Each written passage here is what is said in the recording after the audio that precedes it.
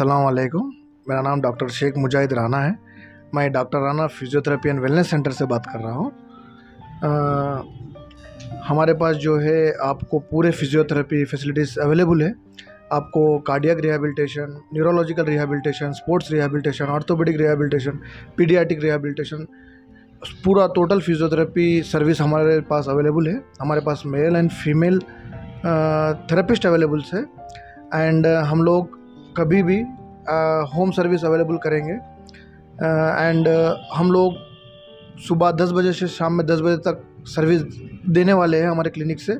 और in case अगर कोई इमरजेंसी है किसी को चाहिए तो हम लोग वीक ऑफ़ पे भी हम लोग देंगे सर्विस हमारी। जैसे कि फिजियोथेरेपी बहुत सारे आपके पास स्पेशलिस्ट क्या है हमारे पास ये स्पेशलिस्ट है हम लोग एडवांस ट्रीटमेंट करते हैं जैसा कि ड्राई नीडलिंग है कपिंग है आपको फिर फायर कपिंग है लाइक काइंड ऑफ़ पहले हिजामा जो बोलते थे ना अभी वो कपिंग में बदल गया है। हाइड्रो हाइड्रो कपिंग आ गया है।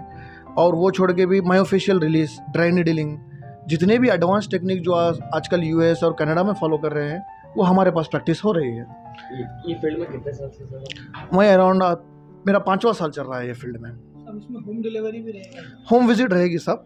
फ़र्स्ट दिन मैं खुद जाकर पेशेंट को असिस्ट करके फ़र्स्ट दिन मैं खुद जाकर पेशेंट को असिस्ट करके सब करके फिर मेरे जो भी थेरेपिस्ट रहेंगे मेरे जूनियर्स को मैं फिर उनको केस दूँगा।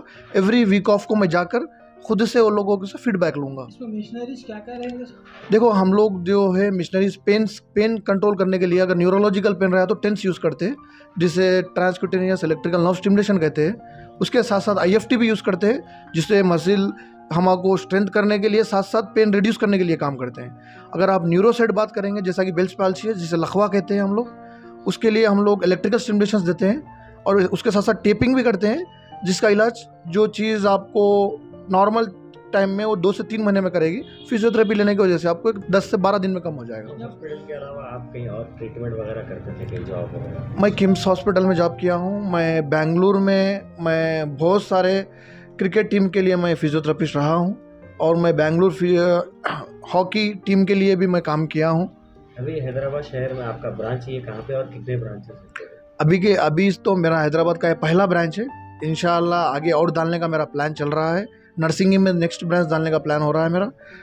पब्लिक को मैसेज क्या देना चाहिए मैं पब्लिक को यही मैसेज देना चाह रहा हूँ। आप लोग एक बार हॉस्पिटल विज़िट करिए सर्विस देखिए और मेरे पास कि एडवांस पेमेंट करो ऐसा करो ऐसा करो नहीं रहेगा।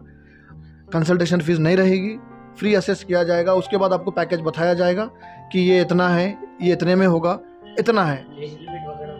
नहीं है सर हम लोग दो साल से बच्चे से लेके हम लोग सौ साल के बच्चे इंसान बड़े आदमी को ट्रीट करते हैं। तो पेशेंट आने के बाद उसको चेकअप वगैरह करने के लिए भी क्लिनिक रहेगा डायरेक्ट चेकअप करा के आपके पास आना पड़ेगा? नहीं हम पेशेंट डायरेक्ट हमारे पास आ सकता है क्योंकि आप लोग को पता होगा मेरे ख्याल से रिसेंटली हमारे प्राइम मिनिस्टर नरेंद्र मोदी ने अपने फिजियोथेरेपी को अब अलाइड साइंसेस में डाल दिया है। अब ये पैरामेडिकल साइंस में नहीं नहीं रहा है।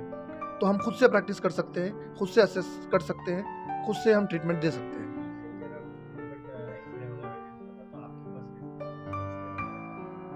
देखिए, मैं एज ए फिजियोथेरेपिस्ट हम लोग फिजियोथेरेपिस्ट कभी एक्सरे या एम आर आई को प्रमोट नहीं करते हैं। हम लोग फ़र्स्ट असेस करते हैं ट्रीट करते हैं। उसके बाद अगर इम्प्रूवमेंट नहीं आया तो इम्प्रूवमेंट क्यों नहीं आ रहा? उसके लिए हम लोग एक्सरे एम आर आई को भेजते हैं।